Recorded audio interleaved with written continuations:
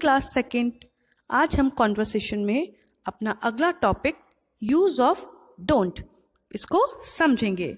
Use of don't तो चलिए शुरू करते हैं।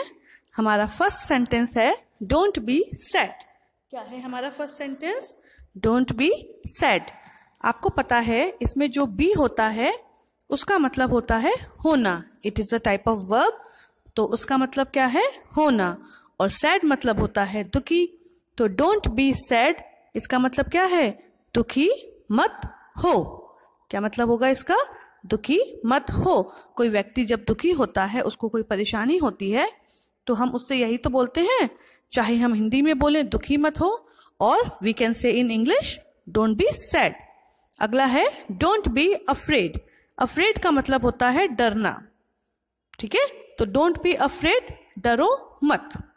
बी अफ्रेड मतलब डरो मत। डोंट बी अफ्रेड डरो मत। Don't be nervous don't be nervous nervous का मतलब होता है घबराना। तो घबराओ मत। घबराओ मत। अगला है डोंट बी फुलिश फुलिश मतलब होता है मूर्ख।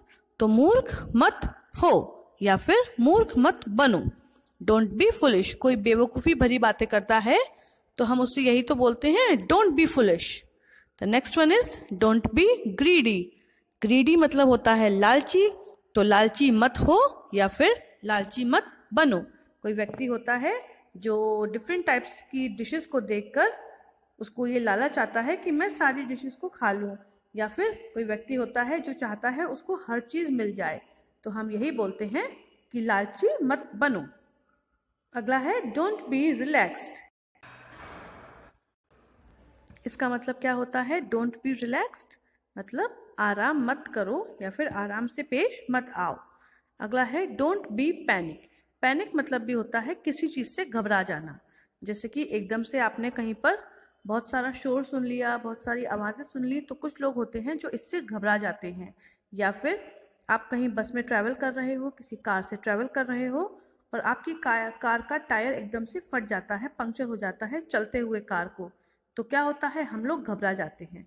तो यहाँ पर कहा जाता है don't be panic everything all will be all right okay the next one is don't be serious serious मतलब होता है गंभीर तो गंभीर मत हो बी फनी मतलब किसी बात को इतना मत सोचो कि आप उससे परेशान हो जाएँ। अगला है डोंट बी रूड रूड मतलब होता है, अशिष्ट मतलब डोंट बी रूड का मतलब है, अशिष्ट मत हो। मतलब बहुत ही बदतमीजी से किसी से बात मत करो। The next one is jealous jealous मतलब होता है जलना किसी को देखकर। किसी दूसरे के पास अच्छी अच्छी चीज़ें हैं अच्छा अच्छा खाना है, कपड़े हैं, बहुत सारे पैसे हैं, गाड़ी है, मोबाइल है, आजकल तो ये सब चीज़ें बहुत आम हो गई हैं। तो हमारे पास अगर कोई इनमें से चीज़ नहीं है तो उसको देखकर हमारे अंदर जलन की भावना आती है।